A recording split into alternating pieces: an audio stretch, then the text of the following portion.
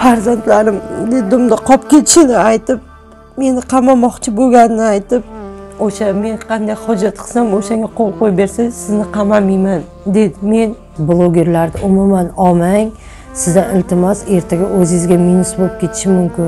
O'sha uchun jim mana o'qib turavering. Men ishingizni yakunlab yaxshi qilib beraman dedi. Ho'p dedim. Tergovchi chaqirtirdi. U meni farzandlarim bilan qo'rqitdi. Farzandlarimni meni qamab qo'yishini farzandlarim yetimni qolib ketishini. U eshikni ochyapti uyimga bir guruh odam kirib kelyapti. Ular hayratda bu ayol tadbirda sizmas edi singlim bu narsangiz deloga chiqmaydi sudga. Просто bu bizga qaraba o'shanaqa ibrohim degan qozini ushlab berish kerak edi evaziga biz o'g'ilni chiqarib berishimiz kerak edi deydi. И menga aytyaptiki чтобы ertagi kunda tug'ib tug'ib qo'yishni xohlamasangiz qamalib ketishni xohlamasangiz bir yuz yetmish olti million summani deb yozib bering shu yerda deyapti. Men o'zimni uyim yo'q ijarada yashayman men o'zimni uyim yo'q ijarada yashayman o'sha vaqtida u menga sakkiz yuz ming uch yuz ming besh yuz ming qilib pullarni berib yurdi. Uni o'g'li qamalib qolgan bir yuz oltmish sakkizinchi modda bilan departamentga u meni ushlatib bergan. Men prezidentimizdan xalqimizdan mana shu organda ishlaydiganlardan adolatli qonunni ko'rib boshqatdan tergovga oshirib berishlarini iltimos qilaman. Avvalambor muhtaram prezidentimizga iltimos qilamanki e, ichki ishlar boshqarmasining boshlig'iga e, respublikanskiy prokuraturaning boshlig'iga milliy xavfsizlik boshlig'ining boshliqlariga o'sha toshkentda hamma ishlaydigan tashkilot organ tashkilotlariga iltimos qilamanki meni tergovimni qaytadan ko'rib qonuniy adolatli qilib ko'rib berishlaringizni iltimos qilaman. Men guliston shahrida ichki ishlar ichki ishlar xodimlaridan o'sha tergovchi qo'ziyevsidan judayam qilgan ishidan noroziman. Chunki men olib borgan faktlarim hamma narsani to'g'riligini bila turib aybni bo'ynimga qo'yib meni qamab yuborgani uchun qamatib olmoqchi bo'lgani uchun menga qonun tarzida yordam berishlarini so'rayman. Meni ishimni boshqatdan tergovga olib shaxsan o'sha toshkentda ishlaydigan tashkilotlar nazoratida bo'lishini xohlayman. Chunki men o'z qo'lim bilan olib o'z qo'lim bilan o'sha ayolga topshirganman hamma narsani. O'sha uchun sizlardan iltimos qilaman yordam berishlaringizni men olib borgan dalillarimni taksilarimni guvohlarimni hech qaysini inobatga olmasdan u xotinni yonini olgani uchun o'sha uchun qaytadan ko'rib berishlaringizni iltimos qilaman. Sizlardan qonun tarzida ko'rib bersin qo'lim bilan olib borib berganlarimni assalomu alaykum. Men murojaatim shundan iboratki uch to'rt yildan beri qodirova molda degan ayolni taniyman o'shani kinza magazindan oldindan kiyim olib yurardim. Ikki ming yigirma birinchi yilda borganimda moldopani do'kondan narsa olganimda moldopaga telefon qilgan vaqtimizda iltimos qildiki men hozir avariya holatiga uchraganman. Meni kiyimlarimni bo'lib berishga bir yarim oyga tanishlaringiz ko'pku sotib bering deb iltimos qildi. Men o'sha maqsadda kelib o'sha yerda anaqa perintal bizda to'rxonani yonida joylashgan aptekada ish boshqarib sotuvchi bo'lib ishlaydigan shahlo opa bilan munosabatim yaxshi edi. O'sha bilan maslahat qilgan holatda u olib keling men shu yerdagi vrachlarga mestralarga sotib bir yarim oyda pulini qilib beraman dedi. Men har vaqtda borib kinza magazindan kiyimlarni olib kelib shahlopaga taksidan borib tushirib o'shanga berib yurardim. O'shani orasida moldopa bilan biz tortishib qoldik. Xo'jayinimga moldopa bir kun telefon qildi toshkentdan tovar kelganini aytdi. Men u payt homilador edim. Xo'jayinimga aytdim borib iltimos olib keling. O'shalarnikidan deganimda taksi kompaniyaga telefon qilib taksidan murojaat qilib xo'jayinim boryapti narsalarni olib kelyapti men do'ngni pastiga tushib turibmanda. O'shanda xo'jayinim bilan borib aptekaga joylashtirib olib kirib narsalarni qo'ygan shahlopa har bitta narsani ko'zi bilan ko'rib olib turgan. Hamma narsani olib bo'lgandan keyin xo'jayinimga men ketavering deb aytganman. Keyin moldopa bilan orada tortishib qolyapmiz. Moldopa meni ustimdan ichki ishlarga yozib beryapti. Meni javdat degan tergovchi bola to'rtinchi mavzega chaqirtiryapti. И menga aytyaptiki чтобы ertaga kunda tug'ib tug'ib qo'yishni xohlamasangiz qamalib ketishni xohlamasangiz bir yuz yetmish olti million summani deb yozib bering shu yerda deyapti men xo'jayinimdan qo'rqqanim uchun bir yuz yetmish olti million so'mlik tovar deb yozib berganman aslida erta yerda bir yuz yetmish olti millionlik tovar bo'lmagan. O'sha vaqt o'tdi ancha oradan o'tdi. Meni xo'jayinim qamalib qoldi. Qamoqda o'tirgan vaqtida bitta nomer berdiki iltimos mana shu nomerga telefon qilgin. Men dedi o'sha anaqa xotini ekan. U xot qonuniy xotini emas ekan matluba degan ayol. O'shandan olib anaqa peridacha olib kelsin havasga deb iltimos qildi. Men o'sha ayolga telefon qildim. Uni ham uni xo'jayinisi meni xo'jayin bilan o'tirgani uchun men o'zimni uyim yo'q ijarada yashayman. O'sha vaqtidagi o'sha matluba opa bilan men zominlik bo'lganim uchun u ham zominlik bo'lgani uchun mendan o'sha narsani olib yurdi. Anaqa tilla ziragim bilan bo'ynimdagi sepichkamni sotdim. O'sha vaqtida u menga sakkiz yuz ming uch yuz ming besh yuz ming qilib pullarni berib yurdi. Men o'zim borolmasdim. Magazinga tashlab ketardim. Magazindan через taksi orqali pullarimni olib yurardim. To'rt million yetti yuz ellik ming so'm pulim unda qolib ketdi. Keyin uni orada u xotinni judayam ellik milliondan oshiq qarzi ko'p ekan matluba degan ayolni. Uni o'g'li qamalib qolgan bir yuz oltmish sakkizinchi modda bilan.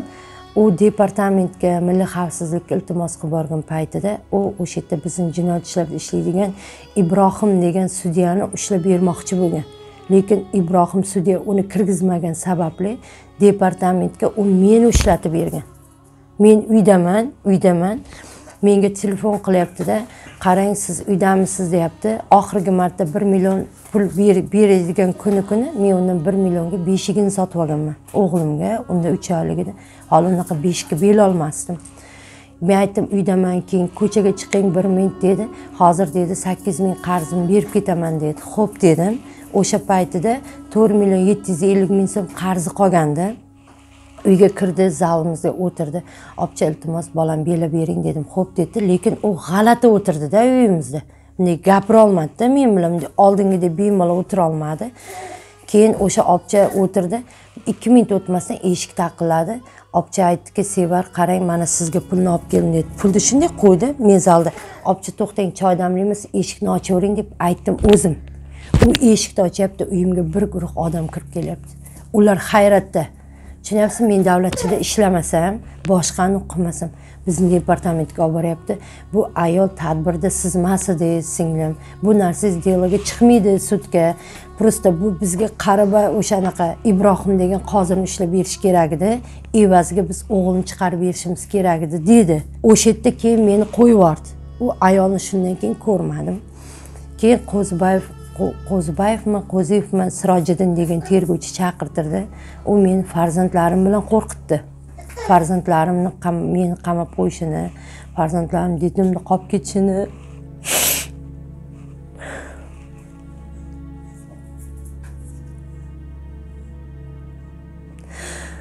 Farzandlarim ditimda qolib ketishini aytib meni qamamoqchi bo'lganini aytib o'sha men qanday hojat qilsam o'shanga qo'l qo'yib bersangiz sizni qamamayman dedi. Men o'zimizni guliston shahridagi viloyat prokuroriga rahmat aytaman. O'sha inson menga judayam ko'p yaxshilik qildi.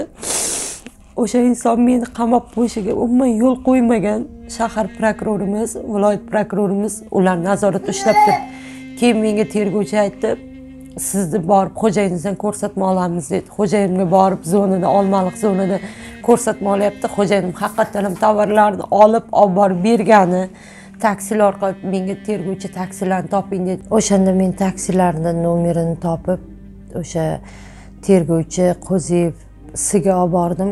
Tergovchiga iltimos qildim. Qonun doirasida ko'rib yordam bering. Ertaga mana shu bir yuz yetmish olti million so'm meni bo'ynimda qolib ketmasin dedim. Ho'p men sizga yordam beraman deb meni aldadi tergovchi. O'sha vaqtgacha oxirgi marta borganimda tergovchiga xursand bo'lib keldim.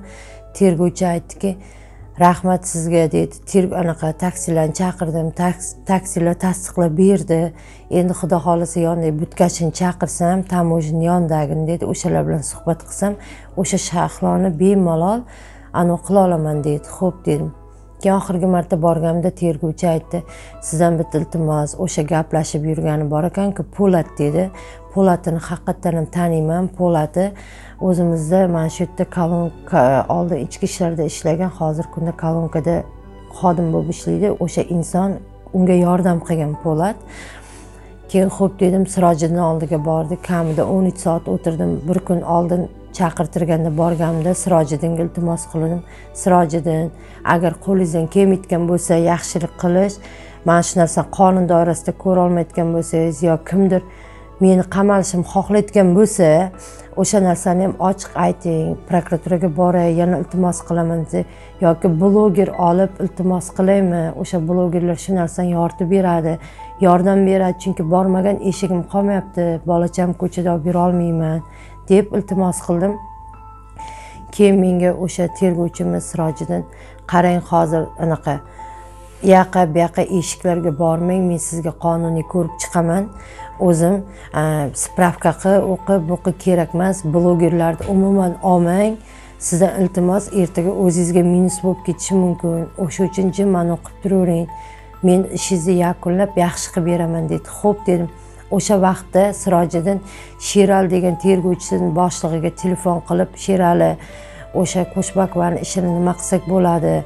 deb gapirdi. U qamasang qamab bo'ldi oxirini yopgin deb aytdi. O'sha kuni hayron qolib yig'lab uyga qaytib keldim. Ertasi kuni soat ikki bo'lmasdan menga telefon qilib sirojiddin qo'shbakova kelib keta olasizmi bir? dedi.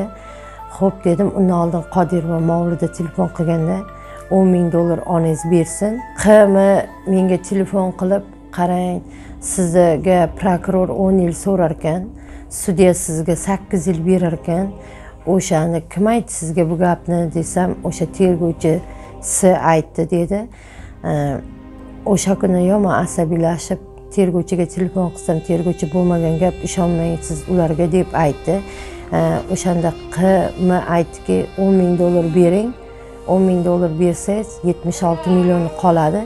o'n ming dollarini men e, ke oldim deb sudda da'voyimni iqtibos beraman dedi. Men hozir o'n ming dollar berolmayman sizga qanday beraman?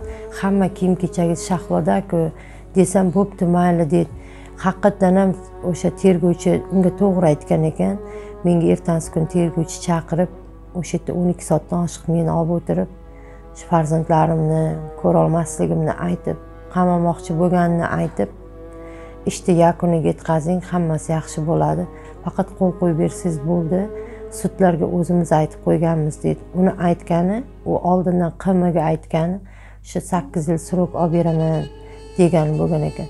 Nahotki tergovchida haqiqatimni aytolmadi qilolmadi o'sha uchun xafa bo'ldim. Mayli bo'pti deb yana prokuraturaga bordim. Prokuraturaga iltimos qilsam prokuror o'sha viloyat prokuroridagi ishlaydigan xodimga shahar prokuraturamizda ishlaydigan o'sha uchqunga ham rahmat. O'shalar уже unga telefon qilganda meni ishimni уже sudga chiqarganligini aytishdi. O'sha uchun men prezidentimizdan xalqimizdan mana shu organda ishlaydiganlardan adolatli qonuniy ko'rib boshqatdan tergovga oshirib berishlarini iltimos qilaman. Hozirgi kunda men olib borib qo'lim bilan bergan insonim shahloga shahlo hech narsani tanolmayapti men dokazatlari bilan olib borib ko'rsatib beryapman o'sha narsani. Lekin ular o'sha narsani oxirigacha yetkazib berolmayapti yo uni orqasida kimdirlik borligini bilaman shahloni. Baribir men tergovchiga iltimos qilgandim. Mayli butun o'zbekiston guliston shahrini hamma xalqini yig'ing men o'sha insonni oyog'iga tiz cho'kib kechirim so'rayman. Iltimos sizdan farzandlarim uchun olgan narsamni qaytarib bering. O'shalarga qmga deb iltimos qilganman. Hozirgi kunda sudga chiqadi degan men u suddan chiqqani uchun qarshiman chunki noqonuniy ko'rishgani uchun. O'shani men haqligimni bilib turib tergovchi menga mana shunday qilib qo'l qo'ydirib sudga chiqarib yuborgani uchun men bloger olaman deganim uchun men sudga chiqarib yuborgani uchun men o'sha uchun hammadan iltimos qilamanki qaytadan tergov ko'rib menga adolatli qonuniy qilib xalq yordam berishini iltimos qilaman. Meni o'zimni uyim yo'q joyim yo'q ijarada turaman. Men hozir kunda unga o'n ming dollar ham to'lolmayman